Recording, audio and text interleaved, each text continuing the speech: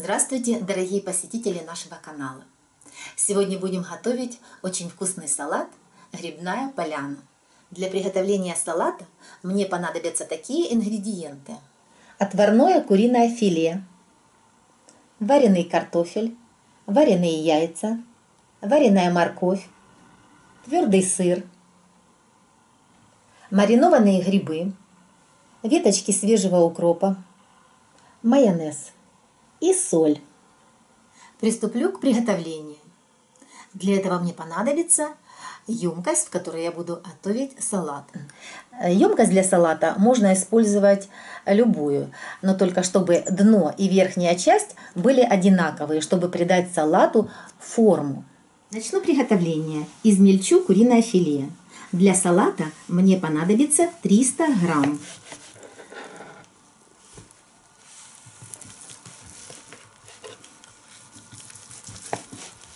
Филе я отварила в подсоленной водичке.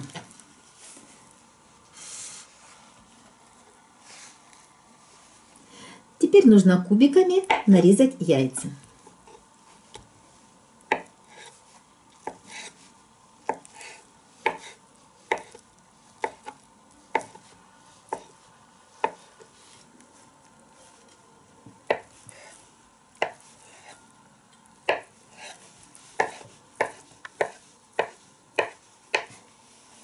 Нарезаю мелко зелень.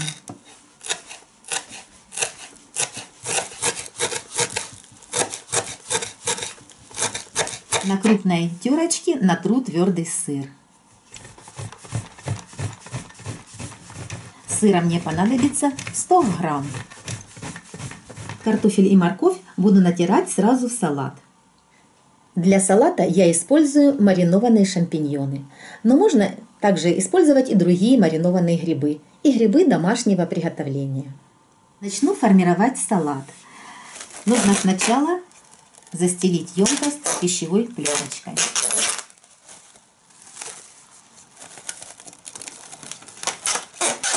Пленку мы выстилаем для того, чтобы потом удобно было перевернуть салат на блюдо. Первый слой у нас из грибочков. Выкладываем грибы шляпками вниз.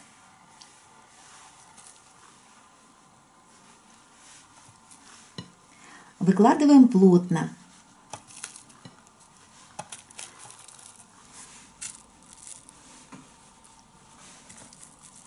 В баночке у меня было 480 грамм. В мою емкость у меня вот пошли не все грибы, еще остались на тарелочке. Это зависит от того, какая у вас будет емкость. Если будет большая, значит больше грибочков нужно. Вот. Если маленькая, значит меньше. Сверху грибы посыпаю укропом. Если есть лук зеленый, можно мелко порезать и посыпать луком. Теперь нужно смазать майонезом.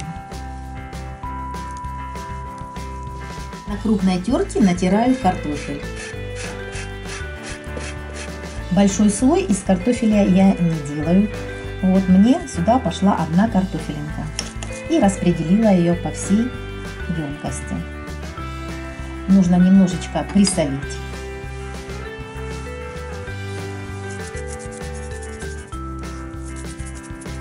И покрыть майонезом.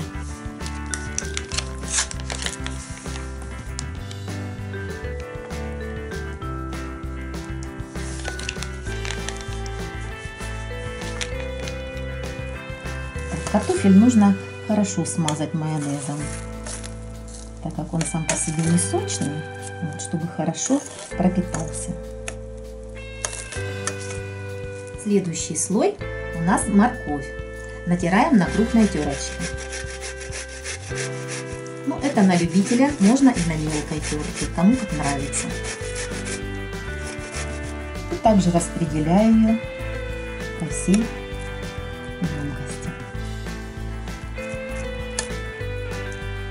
морковь э, слегка поливаю майонезом, так как она сама по себе подсолнечная.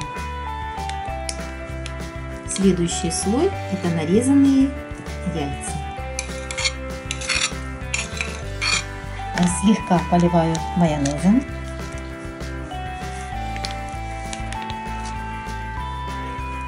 Распределяю майонез и немножечко как бы придавливаю, чтобы все компоненты хорошо-хорошо соединились. Следующий слой из сыра. Также слегка поливаю майонезом и распределяю майонез по всей емкости. Немножечко придавливаю. Последний слой мясной. Выкладываем куриное филе. Сверху поливаю майонезом.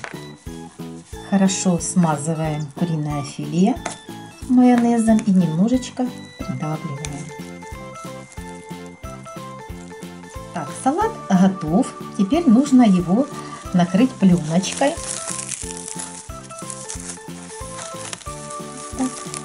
Поставить в холодильник, чтобы он настоялся часика на два.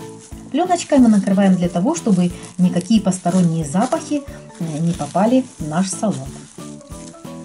Ставим в холодильник еще для того, чтобы он немножко постоял и приобрел форму. А теперь самый ответственный момент. Нужно выложить салат на блюдо. Можно использовать большую плоскую тарелку или любое блюдо. Сверху накрываю блюдом. И теперь переворачиваем.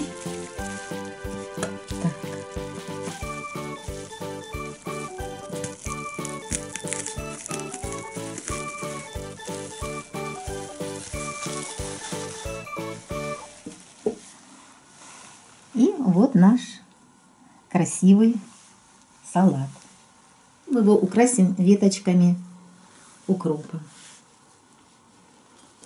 Но если блюдо однотонное, это, конечно, смотрится еще красивее. Вот такой получился салат. Грибочки словно растут на полянке.